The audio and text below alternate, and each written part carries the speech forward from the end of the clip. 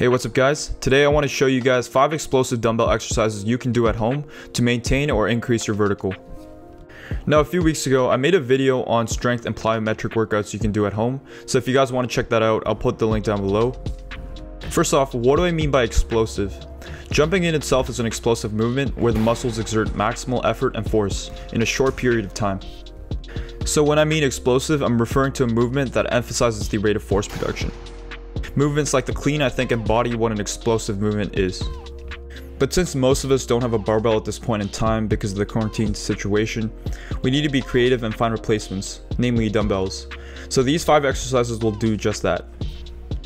But if you have your own gym and already have a barbell at your disposal, you can add these to your routine as an accessory exercise. Now on to the video. With any workout I like to start with 3 to 5 minutes of jump rope and get some dynamic stretches in to get the blood flow going. Honestly, I think everyone should incorporate this to their vertical jump routine because it activates and primes the fast twitch muscles, especially in the calves. I also do some dumbbell squats to activate my lower body before I get into my actual explosive workout. Although this isn't inherently an explosive exercise, I like to emphasize on the speed to focus on the rate of force production. I usually do 3 sets of 10 to 12. The first explosive dumbbell workout is the jump squat.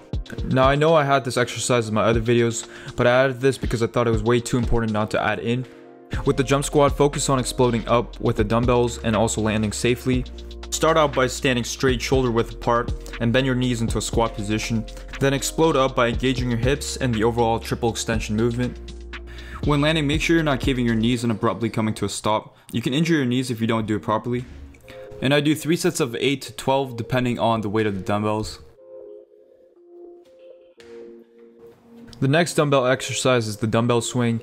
If you have a kettlebell, you should use that, as the original exercise utilizes the kettlebell, hence the name kettlebell swing. Dumbbell swing or kettlebell swings are one of the great exercises to master a powerful hip extension. A lot of the times, people don't know how tight and inactive their hips are, which could be their limiting factor. I found out that this is very true for me as my hips are very tight and sometimes inactive compared to my ankles and knees. So overall, dumbbell swings are a great way to engage your hips, ultimately helping in your other lifts such as the squat, deadlift, and the clean. And I usually do 3 sets of 7 to 10 reps with 20 pound dumbbells and vary depending on the weight of the dumbbell itself.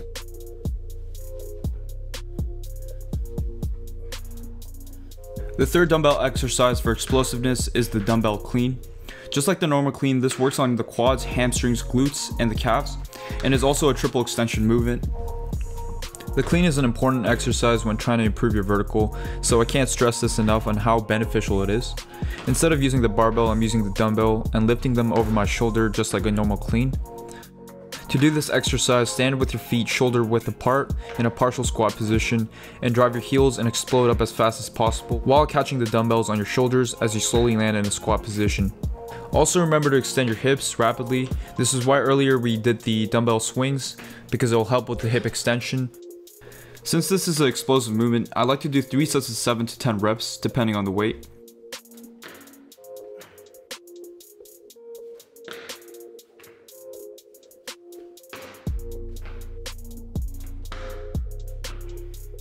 The fourth workout is the dumbbell snatch, which is also similar to the dumbbell clean, but focuses more on increasing the total body power.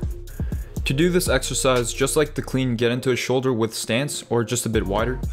With the dumbbell directly below you, squat down so you're in a similar position to a deadlift. Keep your chest and head up high and keep your lumbar region straight. And after you have your position set, extend your hips rapidly, lifting up the dumbbell with your leg and back. The momentum from the extension of your knees and hips should raise the dumbbell above your head.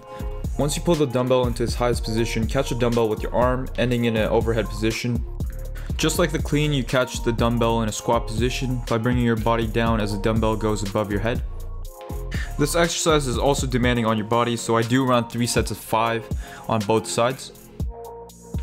Overall, this workout is great for the triple extension. It increases the rate of force development through the posterior chain, ultimately increasing your vertical.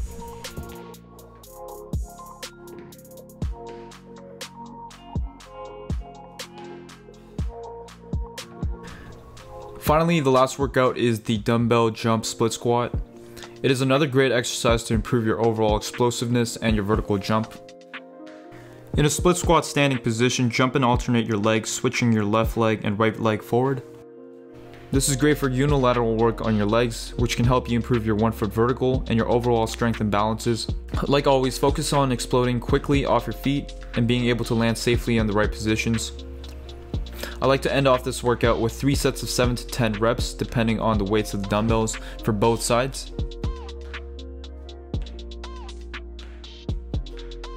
Alright, that's it for the video. Hopefully these 5 dumbbell exercises can help you get more explosive and improve your vertical during this time in quarantine. If you guys like the video, give this video a thumbs up and sub if you guys want more content like this. Alright, thanks guys.